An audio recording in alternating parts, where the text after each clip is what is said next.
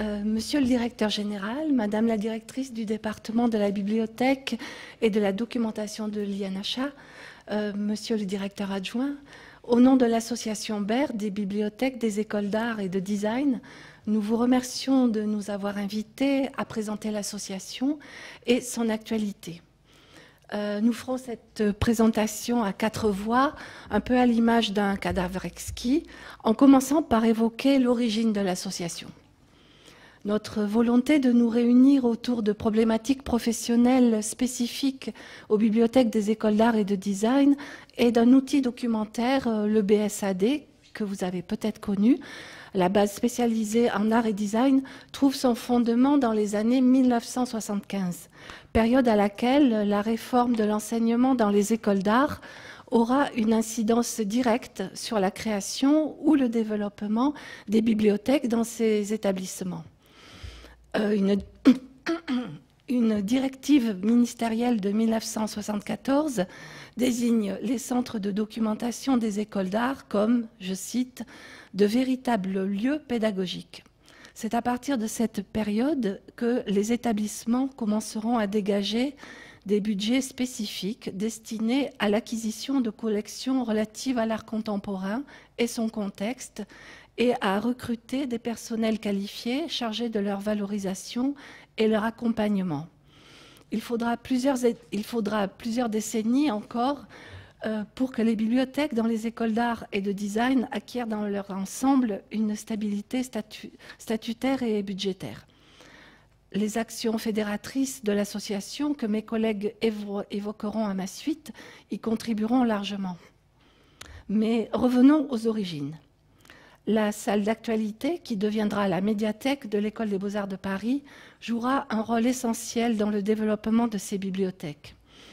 Une table ronde intitulée 1968 dans les écoles d'art s'est tenue à l'École nationale des chartes le 10 octobre 2018 à l'occasion des journées conclusives du programme de recherche Histoire de la pédagogie de la création artistique 20e, 21e siècle. À cette occasion, Mathilde Ferrer a rappelé qu'en œuvrant à la création d'une salle d'actualité à l'École des beaux-arts de Paris en 1976, au titre d'enseignante, elle avait cherché à introduire et à mettre à la disposition des étudiants l'actualité, dit-elle, de l'art en train de se faire. Sous l'impulsion de cette enseignante nommée depuis peu et chargée de l'enseignement de l'art de la performance et de l'art vidéo, la salle d'actualité a organisé des rencontres avec des artistes, elle a documenté sous forme de vidéos les expositions en cours et a réuni à l'intention des étudiants une documentation éphémère relative à la création contemporaine et son environnement international, social, politique et intellectuel. C'est dans ce contexte qu'un outil commun de dépouillement des périodiques a été conçu, le bulletin signalétique des arts plastiques. Les revues internationales étaient et sont toujours un support et une source d'information majeure pour la création contemporaine. Les bibliothèques des écoles d'art et de design, les conservant, se sont donné pour mission de, de, mettre ces ressources à la disposition de la communauté des étudiants, des artistes et des chercheurs. Pour illustrer mon propos, j'aime à rappeler la parution originale du texte de Robert Smithson, The Monuments of Passaic, dans la revue Art Forum en décembre 1967, qui est devenu un exemple éditorial culte et une source féconde de reprises artistiques par les étudiants de nos écoles et les jeunes artistes jusqu'à aujourd'hui. Dès le départ, le dépouillement s'est fait de façon partagée entre les, bibliothèques des écoles d'art réparties sur tout le territoire. L'équipe de, la salle d'actualité, sous la responsabilité de Marie-Hélène Collas-Adler, centralisait les notices papier, les dupliquait et les envoyait par courrier postal à chaque bibliothèque. Dans un même mouvement, la partie documentation de la salle d'actualité s'est transformé en une médiathèque mettant à la disposition des étudiants une collection pérenne de documents, catalogues d'expositions, monographies, essais, livres d'artistes et revues axés sur les pratiques contemporaines de l'art et ses champs de réflexion. Jeanne Lambert, de l'équipe d'encadrement de la médiathèque, parle dans un article paru dans le BBF numéro 2 de 1999 à propos de la politique d'acquisition dans une bibliothèque d'art, d'une école d'art, pardon, euh, de work in progress, à l'image des pratiques euh, artistiques des années 60 et d'une veille dans le temps présent. La médiathèque de l'École des beaux-arts de Paris c'est ainsi, aux prémices de notre association, posé comme un véritable lieu de formation et d'échange professionnel autour de questions relatives à la diffusion de l'art contemporain et du rôle pédagogique que jouent les bibliothèques des écoles d'art et de design dans sa transmission et contextualisation. Les réunions régulières de ce réseau informel, qui se perpétue maintenant par des rencontres dans une école différente chaque année, L'an dernier, nous étions à, Nantes, et je salue notre collègue qui est parmi nous, et nous serons à Nancy en juillet prochain. Ces réunions ont été et sont toujours propices à la réflexion et à l'élaboration des missions scientifiques et pédagogiques de leurs participantes et participants. Elles ont donné lieu à de véritables questionnements partagés, mais aussi elles ont engagé des réponses adaptées aux situations spécifiques à chacune de nos bibliothèques. Si la, médiathèque de l'École des beaux-arts de Paris a permis aux bibliothèques des écoles d'art françaises de se fédérer, il faut également évoquer le rôle de la sous-section des bibliothèques d'art de l'ABF, qui a accueilli avec intérêt notre travail collaboratif et en a permis une diffusion plus large auprès de nos collègues des bibliothèques d'art. Je vous renvoie à l'article de Nicole Picot euh, dans le bulletin d'information de l'Association des bibliothécaires français numéro 178 de 1998 intitulé Les 30 ans de la sous-section des bibliothèques d'art de l'ABF.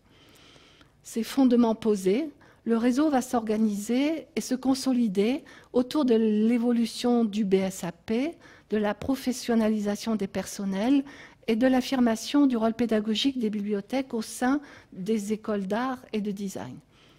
Je passe la parole à Christophe Thomas pour le deuxième euh, épisode de nos aventures.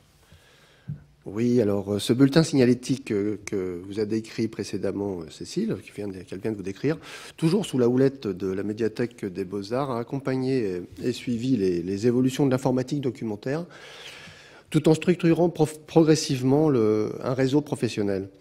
Et dans les années 80, les Beaux-Arts ont, informatisé leur catalogue de monographies et ont en même temps transféré l'activité qu'elle vient de vous décrire, 100% papier euh, du BSAP, du bulletin signalétique des arts plastiques, dans une base de données euh, dédiée qui a conservé exactement le même nom en fait. La méthode était donc optimisée, gardait un aspect collaboratif avant l'heure, mais restait malgré tout artisanale puisque l'école des beaux-arts centralisait toujours des fichiers texte balisés euh, de dépouillement d'articles envoyés par les bibliothèques des écoles du réseau pour les, pour les importer dans une base en Unimark. L'indexation était contrôlée parce qu'on a longtemps appelé, et certains peut-être ici le savent, euh, le connaissent et l'ont utilisé, le vocabulaire dit des arts plastiques, un vocabulaire créé et maintenu par les participants et dont les versions successives étaient envoyées par la poste. Un vocabulaire qui donnait les autorités les renvois, des définitions et qui est évidemment plus précis en art contemporain que le répertoire Rameau. On y trouvait même, euh, comble de la modernité, les groupements et les collectifs d'artistes contemporains qu'on aimerait bien avoir aujourd'hui. Le BSAP, le bulletin signalétique, devenait progressivement interrogeable par le web. Nous sommes là en 1986 et cet outil partagé a vécu sous cette forme jusqu'en 2009. On peut sans doute dire même que cette première transition technologique a conforté un sentiment de participation active à ce réseau, somme toute encore informel. Pour un, certain nombre de raisons objectives, en 2009, la bibliothèque de l'École des Beaux-Arts n'était plus en mesure d'assurer efficacement et techniquement le lourd maintien de, cet outil et son animation, ni à prendre en charge toute seule un nouveau projet. Et au même moment, les, autres bibliothèques du réseau semblaient prêtes à en assurer le relais. Elles ont manifesté unanimement leur volonté de garder et d'enrichir ce bulletin signalétique des arts plastiques. Une association pourrait porter le projet, rechercher des financements. C'est ce qui s'est passé. L'association des bibliothèques des, écoles d'art en réseau, BAR, BER, BIR, comme on veut, est donc né en 2011, est né pour être le, nouveau lieu de réflexion de la communauté des bibliothécaires et des documentalistes spécialisés en art contemporain des bibliothèques d'art. Son chantier prioritaire a été celui de redonner une nouvelle vie euh, au bulletin signalétique des arts plastiques en l'intégrant si possible à un portail, un portail documentaire comprenant une sélection de ressources en ligne pour les professionnels. Des financements ont été trouvés au ministère de la Culture avec le soutien de l'Association des directeurs des écoles d'art, d'autres partenaires. Il, faut rendre hommage à la précédente équipe à la tête de l'association Béar, qui, avec beaucoup d'abnégation, a pu faire reconnaître ce projet par les tutelles et le faire aboutir. Et là, je citerai, euh, enfin, nommerai euh, Aurélie Quinodos de l'école de beaux-arts, euh, de, l'école d'art de Grenoble, Isabelle Caglia de, l'école de Nîmes, des gens qui sont toujours dans le réseau et qui l'ont profondément ancré. L'équipe des Beaux-Arts, elle, autour de Muriel Gallon, Catherine Giraudon, et sous l'autorité de Marc Petit, s'est investie lors de la migration des données du, feu bulletin signalétique des arts plastiques et de son SIGB CADIC en Unimark vers un nouveau portail BAR, que vous voyez derrière, et la nouvelle, et la nouvelle base spécialisée en art et design. On est passé du bulletin signalétique à cette BSAD, toujours en Unimark et désormais administrée par un groupe de travail composé de collègues bénévoles d'une demi-douzaine d'écoles différentes. Je tiens à dire que cette, association BER ne fonctionne que par le bénévolat. Ce portail hébergé par l'éditeur PMB a été ouvert au public en 2014, en même temps que la production de notices à partir de chaque site distant, les personnels ayant reçu une formation d'utilisateur de la part de leurs pairs, qui, eux, avaient été auparavant formés comme administrateurs. Le réseau a adopté le répertoire Rameau proposé par PMB pour des raisons pratiques et aussi pour élargir les possibilités d'indexation, tout en conservant pour les saisies antérieures l'indexation via le vocabulaire des arts plastiques. Concernant la seule BSAD, au simple dépouillement qui permet déjà d'offrir une grande visibilité sur l'actualité euh, éditoriale, on a ajouté la fonction pratique de localisation des résultats de recherche dans toutes les bibliothèques du réseau. Pour terminer, on peut dire que la maintenance de ce portail est prise en charge à 100% par le budget de l'association, dont les ressources propres proviennent des adhésions d'une cinquantaine de bibliothèques des écoles d'art et d'adhésions individuelles à l'association. Voilà, je passe la parole à mes collègues qui vont vous décrire l'actualité de ce, ce portail. Donc la base que vous avez euh, derrière vous euh, fonctionne sous le logiciel PMB, comme l'a dit Christophe à l'instant. Là, on est sur une version 4.2 qui est un peu ancienne, mais bientôt, euh, à partir de cet été, ça sera la version 5.0 qui va, qui va venir la remplacer. Et puis après, on passera à une version 7.0 en fonction là, de l'avancée de la BNF par rapport à la réforme Ramon. Entre 2009 et 2014, aucune mise à jour n'a été faite, mais depuis 2014, on a fait un gros travail rétrospectif pour rattraper le temps perdu pendant euh, ces cinq années de, pause. Donc, euh, que contient cette base? Elle permet de trouver les références d'articles publiés dans les revues spécialisées en art et en design, présents dans les collections des écoles d'art et de design publiques françaises. Elle signale aussi les publications des écoles et les mémoires de fin d'études des étudiants. Alors combien de notices euh, sont sur cette base? Euh, Aujourd'hui, elle comprend 56 846 notices de dépouillement d'articles et 300 titres actifs de périodiques sur un total de 827 titres répertoriés. Nous avons réalisé plus de 3000 notices de dépouillement d'articles en un an entre mai 2018 et aujourd'hui. Elle contient également 650 mémoires de fin d'études de DNSEP, c'est-à-dire euh, diplôme national supérieur d'expression plastique, qui est équivalent au grade de master, et mémoire de recherche DSRA et DSRD. Le DSRA étant le diplôme supérieur de recherche en art, avec son équivalent pour le design, DSRD. Ce sont des diplômes d'établissement délivrés après trois années supplémentaires. Alors maintenant, je vais vous emmener faire un petit tour sur cette base. Donc en fait, là, on se trouve, euh, comme vous l'avez vu, euh, sur la page d'accueil. Euh, je vais déjà vous emmener tout d'abord un petit peu vers la gauche pour voir la liste des revues. C'est toujours quand même un, peu un incontournable. Donc, espérons que ça marche bien. Partie. Mhm. Alors, je repars.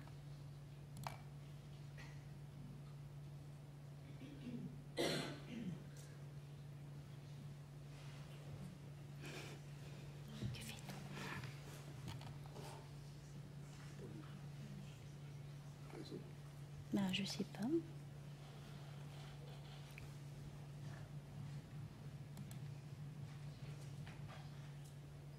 Peut-être je change de navigateur.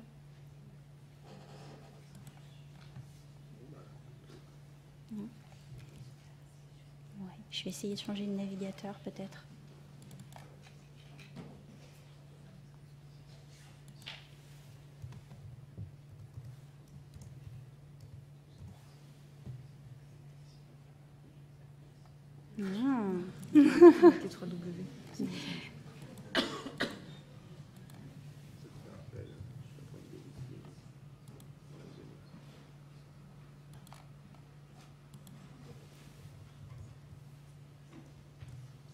C'est ça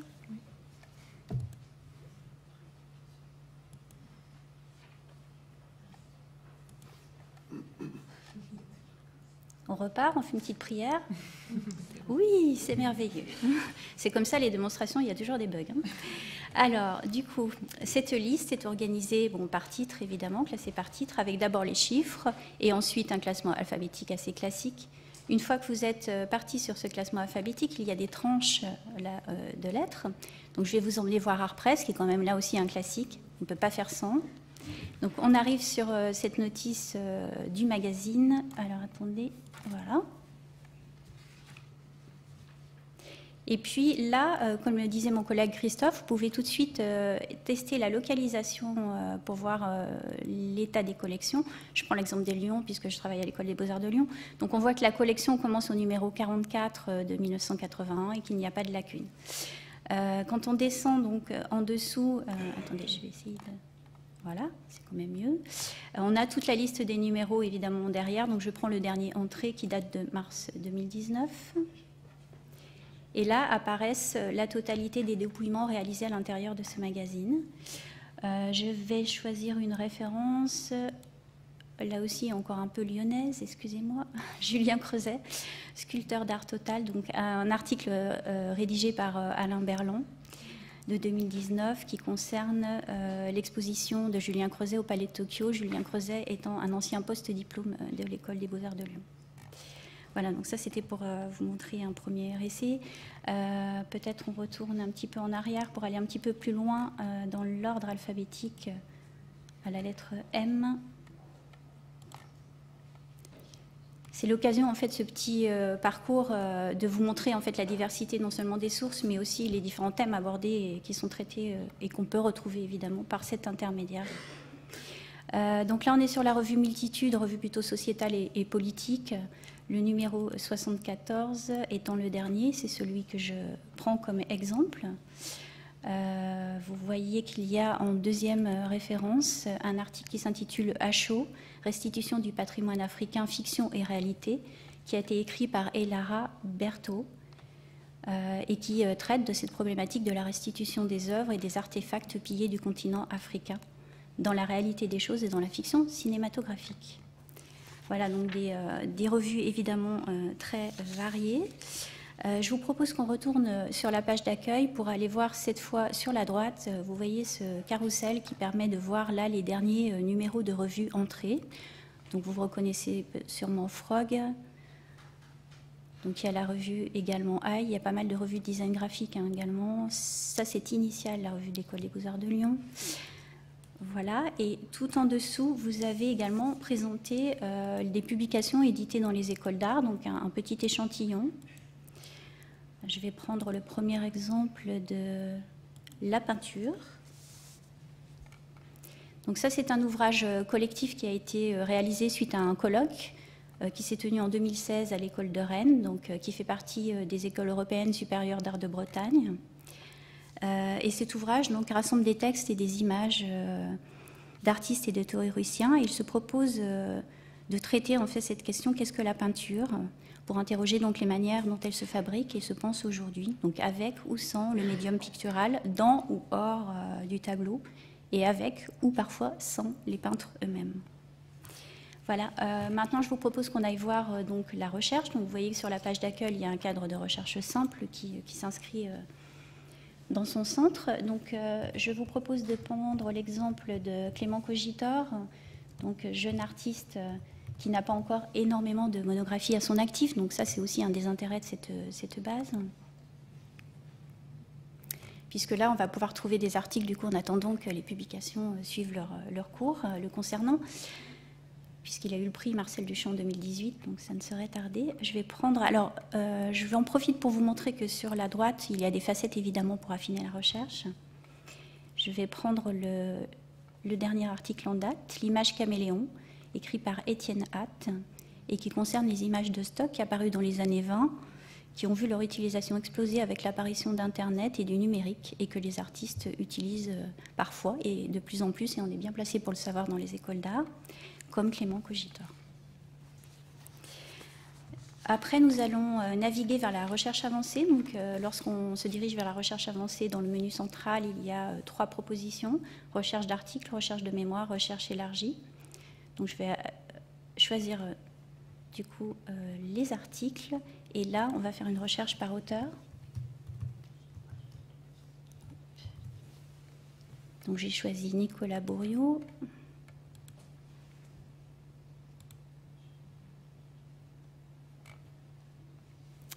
Donc voilà, vous voyez que là on change quand même tout de suite, il y a 80 euh, occurrences qui arrivent. Voilà. Euh, on va prendre quelque chose d'un peu original. Donc l'art culinaire, là c'est un art presse 2, donc avec un dossier spécial sur la, nourriture, la cuisine. Euh, cet article s'appelle Art culinaire vers une politique des auteurs et il contient des interviews d'Hervétis et de Pierre Gagnère dans une tentative de faire apparaître les éléments purement artistiques de l'art culinaire contemporain. Ensuite, euh, on retourne donc en recherche d'articles et cette fois, nous allons tester donc euh, les sujets. Donc ça me permet de vous montrer, en fait, en laissant euh, le, menu déroulant apparaître, ce dont on parlait tout à l'heure avec Christophe, c'est-à-dire à la fois le fichier d'autorité qui va être en fait le fichier rameau, et puis également le vocabulaire des, arts plastiques que l'on voit là apparaître dans cette, dans cette liste et je vais choisir un article un peu particulier. Voilà. Qui concerne alors Making Trouble for Artistry, The Queer Case of Giraudet par James Smalls, qui concerne euh, le sommeil d'Endymion, où Giraudet inventa et offrit au public une image déroutante pour l'époque de la contemplation érotique d'un corps masculin. Cette interprétation de l'œuvre en complète l'analyse traditionnelle. Donc là, c'était dans Art Journal et ça date de 1996. Donc tout ça pour euh, faire un petit, un petit aparté sur ce, thésaurus, en fait, le vocabulaire des arts plastiques. Donc évidemment, bah, on fonctionne euh, en rameau et bientôt le vocabulaire des arts plastiques euh, va disparaître. Néanmoins, on peut voir que c'était quelque chose de très, très, très important, très adapté. Et donc, comme le rappelait mon collègue avant moi, on compte beaucoup en fait sur ces relations, nouvelles relations nouées et ce partenariat pour pouvoir travailler sur un groupe rameau et faire avancer vraiment les choses dans le domaine de l'art, mais aussi dans le domaine du design. On a déjà échangé aussi avec les équipes de la documentation du CNAP à propos du design graphique, et c'est vrai que c'est des personnes très motivées euh, dans ce sens. Et voilà. On a beaucoup d'attentes. Euh, du coup, on va maintenant euh, remonter voir la recherche élargie, puisqu'on n'a pas encore eu l'occasion de la tester. Là, je vais reprendre sommeil. J'espère que je ne vais pas vous perdre en route avec ce thème un peu particulier. Donc vous voyez qu'il y a trois bases qui peuvent être interrogées en même temps ou, indépendamment. Erudit.org, OpenBibArt et Revue.org, euh, alias euh, Open Edition Journal en fait aujourd'hui. Je lance cette recherche et il y a 14 résultats qui apparaissent. Alors je vais choisir quelque chose d'assez poétique, un cœur en hiver, un sommeil d'hiver, donc d'après le film Sommeil d'hiver de Nuri Bilge Ceylan. Alors excusez mon, prononciation, je ne suis pas du tout sûre qu'elle soit correcte. Et là, donc, on va partir sur le site euh,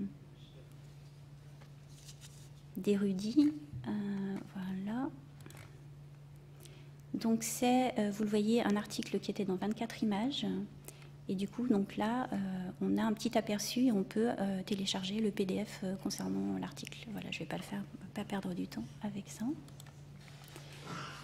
Donc je reviens sur, euh, sur ma page d'accueil il nous reste les recherches de mémoire puisqu'on en a parlé au début en évoquant euh, les cursus en école d'art. Donc là je vais prendre un thème qui va parler à tout le monde et il s'agit des bibliothèques.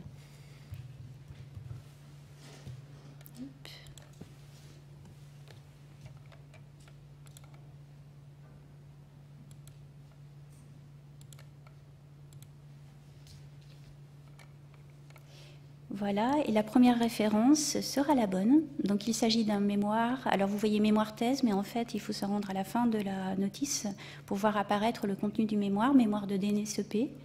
Option art, qui a été réalisée à Saint-Étienne en 2016 par Mathilde Serra et euh, qui a été suivie par euh, Stéphane Lemercier, directeur de recherche.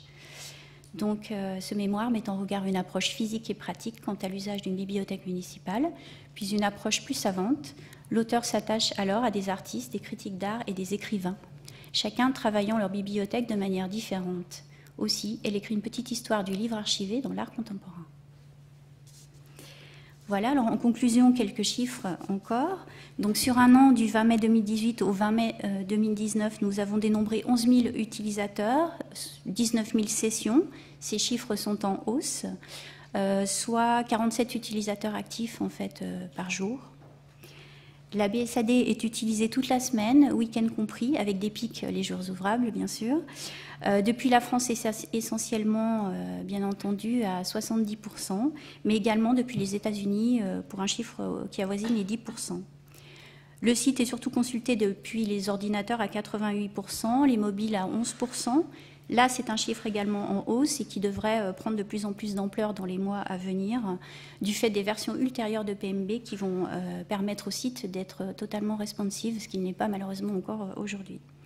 Les tablettes, elles, représentent une toute petite portion du trafic à hauteur de 1%. voilà, mais je laisse la parole maintenant à Cécile Kerjean, trésorière de l'association. Alors, je vais rester plutôt sur des, des chiffres. Euh, donc mes collègues l'ont dit, euh, notre association fédère une cinquantaine de bibliothèques d'écoles d'art, donc euh, aussi bien des, écoles d'art nationales ou territoriales, mais aussi des partenaires extérieurs qui nous suivent parfois depuis plusieurs années par leur soutien financier, par le dépouillement de, de, revues et par la participation à nos journées.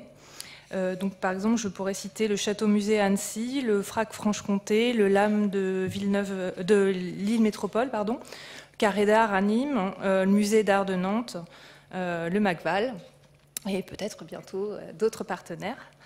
nous avons cinq groupes de travail, donc un groupe qui s'occupe du paramétrage de la base, un groupe qui travaille sur Rameau, un groupe sur les abonnements numériques et la VOD, un groupe sur Pearl Trees. Alors peut-être Corinne, tu pourrais nous montrer le, le Pearl Trees?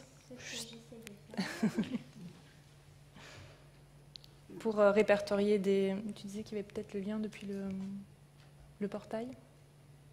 Oui, non, je, vais retrouver. Euh. Et donc un groupe Facebook que je vous montrerai euh, en conclusion. peut-être pendant que tu cherches? Et que je trouve. Voilà. Peut-être pour le Pearl tu peux en dire un mot? Donc c'est simplement un service en ligne que vous devez connaître qui permet euh, de conserver et d'organiser les favoris en fonction de rubriques particulières sous forme d'icônes qui ressemblent à des applications.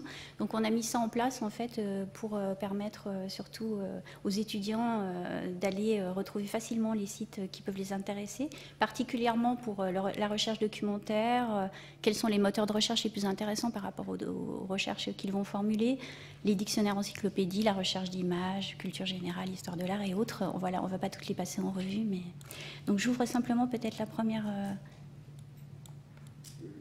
voilà, première perle, comme dit euh, Pearl Trees, avec pas mal de choses qu'on va chercher donc euh, au Québec, des tutoriels qui sont très bien faits pour la recherche documentaire.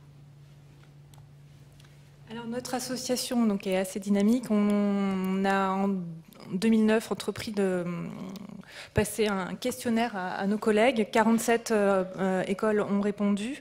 Donc pour vous donner une idée de, nos bibliothèques et de, nos collections, euh, on trouve entre 5700 et 44 000 ouvrages dans chaque école.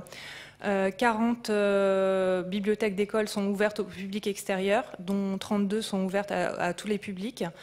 27 participent à des réseaux documentaires 5 euh, au SUDOC, 23 au SUDOC PS et 12 euh, participent au prêt entre bibliothèques. 24 ont des fonds anciens, 17 euh, conservés sur place et 7 sont déposés. Donc, je parlais tout à l'heure d'un groupe de travail sur Facebook donc, qui nous permettra de... En fait, vous l'avez compris, on, est une association qui repose sur le bénévolat et on utilise aussi beaucoup d'outils qui sont gratuit.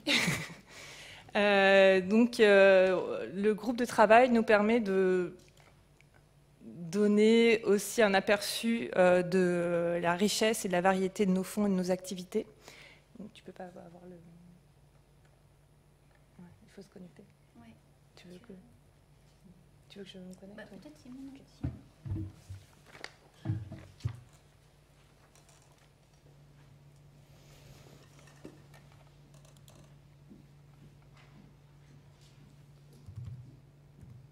Et pour, pour sur le Pearl Trees, euh, je crois qu'actuellement il y a 340 euh, sites perles qui sont euh, référencés.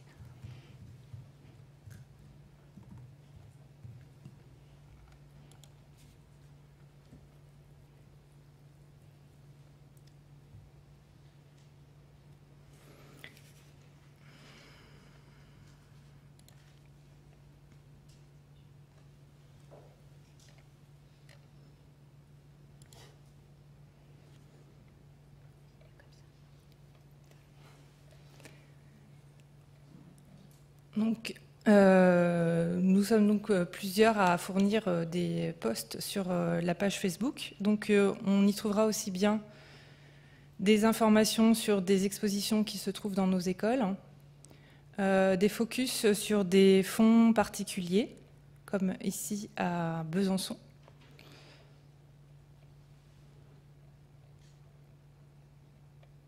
Des animations, donc par exemple à, l'école de Bourges, dont fait partie Cécile, euh, des auteurs en résidence. Je vous invite à retourner voir la, page pour euh, avoir plus d'informations.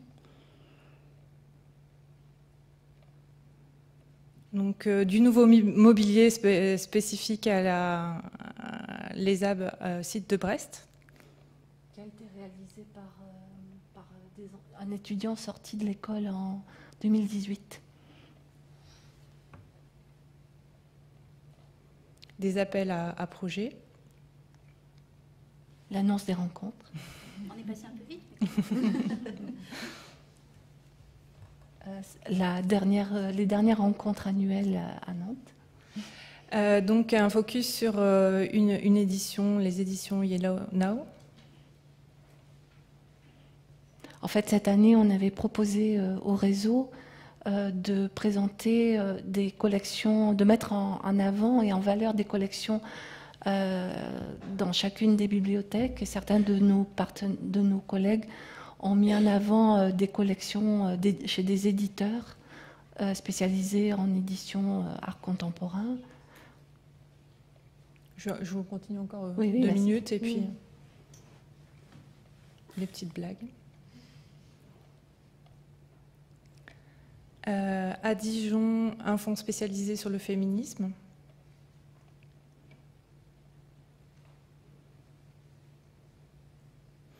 Encore un focus sur des éditions euh, spécialisées en design graphique, les éditions sans page.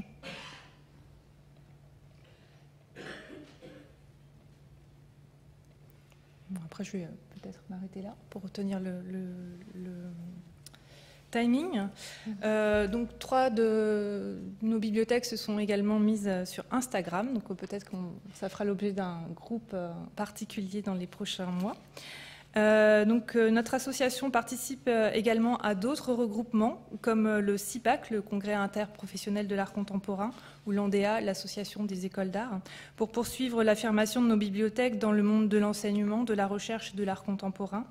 Et donc, on, l'évoquait tout à l'heure, euh, nos rencontres annuelles euh, se poursuivent sur un rythme régulier. Donc, pour vous donner une idée, en 2010, nous nous sommes réunis à Nîmes, en 2011 à Mulhouse, en 2012 à Caen, 2013 à Nice, en 2014 à Besançon, en 2015 à Limoges, en 2016 à Grenoble, en 2016 à l'ENSA aux Arts décoratifs de Paris, euh, en 2018 à Nantes et donc en 2019 à Nancy.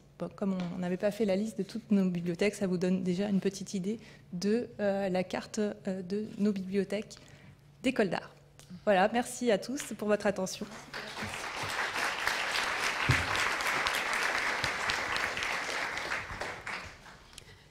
beaucoup pour cette euh, présentation. C'est très impressionnant de voir, euh, parce qu'à l'INHA, on a suivi un peu l'évolution de, du portail et donc de voir aujourd'hui l'activité de, ce réseau et de, ce portail. Il y a peut-être des questions dans, la salle. J'ai vu que vous aviez intégré Open Bib Art. Euh, donc c'est peut-être le moment de préciser pour certains d'entre vous, si vous ne connaissez pas donc cette, euh, cette plateforme, en fait, elle réunit plusieurs euh, bibliographies. alors, elle réunit le répertoire d'art et d'archéologie, c'est la première. La deuxième, je regarde mes collègues pour qu'ils m'aident, celle du Getty. et la troisième, comment elle s'appelait la troisième? Tu te souviens Bref, c'est une plateforme euh, hébergée par euh, l'INIST et donc euh, qui réunit donc un, dépouillement qui remonte donc au début du XXe siècle jusqu'à là aussi je regarde Pierre-Yves. On aurait dû réviser peut-être que les collègues le savent s'ils ont intégré OpenBibart il faudra prévoir une présentation euh, peut-être l'année prochaine de, cet outil, mais qui existe. Hein. si vous tapez euh, OpenBibart, hein, c'est en tout cas une, bonne source de, bibliographie. Euh, voilà. D'autres questions alors, comme euh, on le disait en introduction, ces, journées sont aussi l'occasion d'échanges informels. D'ailleurs, le mot informel a été prononcé plusieurs fois lors des présentations. Donc, c'est le moment de passer à la partie informelle et d'aller prendre un petit café ou un thé bien mérité. On se retrouve dans 15 minutes, ce qui vous laisse largement le temps de s'y